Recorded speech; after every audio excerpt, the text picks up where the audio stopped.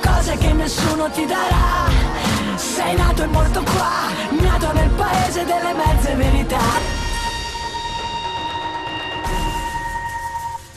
E in questa puntata di Sportello Reclami torniamo su un argomento che abbiamo affrontato circa un mese fa. Vediamo di che si tratta, siamo a Quarata. Buonasera, ben ritrovati su Sportello Reclami. Siamo di nuovo a Quarata, siamo di nuovo a Quarata. Melissa, buonasera. Beh, ci fa piacere essere ritornati qua, però purtroppo se siamo ritornati qua vuol dire che qualche cosa non è successo ancora. Vi ricordate, noi eravamo venuti qua per parlare del problema del punto prelievi, della rarefazione del servizio, di questa riorganizzazione che prevedeva il fatto che solo pochi posti, solo pochi giorni sarebbero stati disponibili per le utenze, cioè per tutti coloro che hanno bisogno di, degli, di prenotare degli esami, anche degli esami piuttosto complessi. Beh, eh, c'era stato un impegno che era quello di eh, realizzare un'assemblea pubblica con le persone di Quarata e dei tanti borghi eh, vicini che su questo punto prelievi gravitano. Ebbene, questo incontro c'è stato. Melissa, purtroppo uno pensa, beh, è, una, è un'assemblea, discuteremo, e invece non è stato così.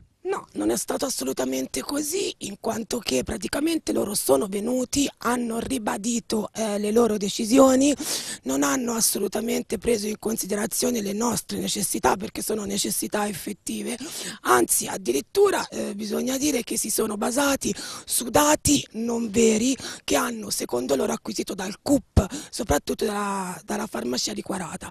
Io sono andata, mi sono informata e eh, non è assolutamente vero che come dicono eh, gli addetti e i responsabili dell'ASL, non si riesce a coprire tutte le utenze, anzi si coprono e si coprono alla stragrande e addirittura non c'è posto, non c'è posto per i prelievi normali fino al 12 di dicembre e addirittura per i prelievi TAO che sono quei prelievi specifici il posto lo abbiamo il 16 di gennaio, di conseguenza non è vero che in questo modo con questi orari si coprono sono tutte le utenze di cui Quarata e i dintorni necessita.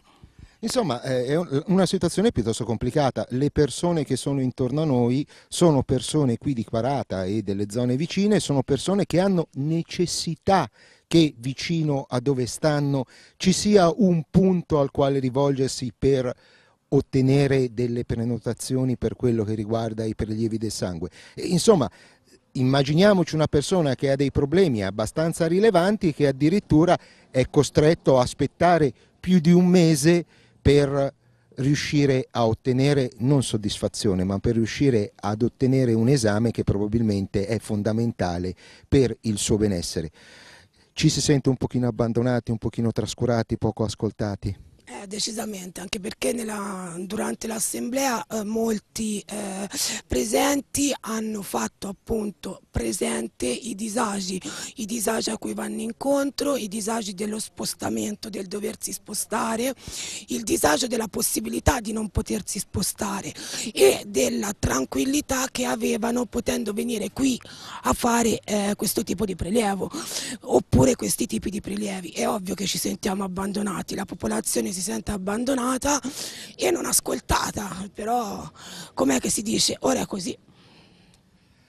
Beh, noi, noi, speriamo sempre attraverso uh, queste trasmissioni che vogliono essere la voce dei cittadini, che vogliono essere il megafono per voci, dei, per voci che talvolta passano sotto traccia o che sembrano troppo basse.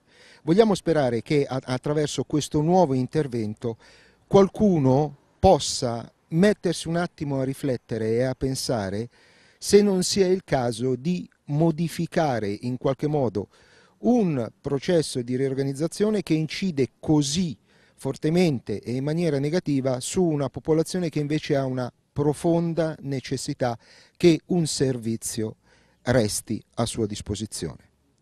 Questa è la speranza, questo è il servizio di questa sera che io lascio a voi in prima visione, a voi che ci ospitate cortesemente tutte le sere nelle vostre case e anche a coloro che sono direttamente interessati a questo uh, processo di riorganizzazione che per tanti versi è necessario e inutile nasconderselo, che però in qualche modo possano prendere coscienza una volta di più di quelle che sono le reali esigenze delle persone che vivono a Quarata e in tanti borghi intorno a Quarata.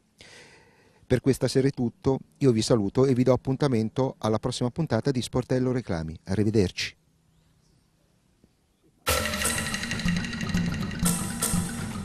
Quindi ancora preoccupazioni per il punto prelievi, ne parliamo tra un attimo.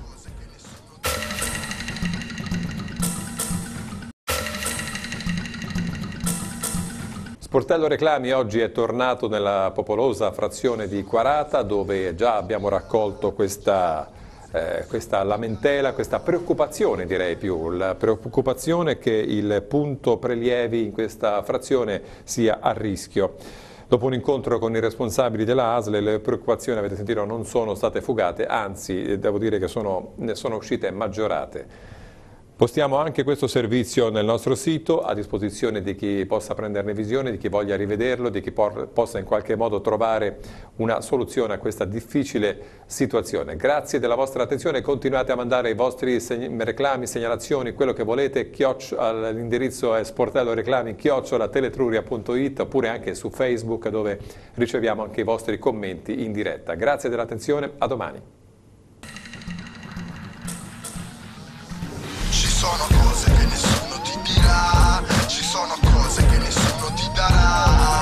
In Italia ci sono cose che nessuno ti dirà, ci sono cose che nessuno ti darà. Sei nato e morto qua, nato nel paese delle mezze verità.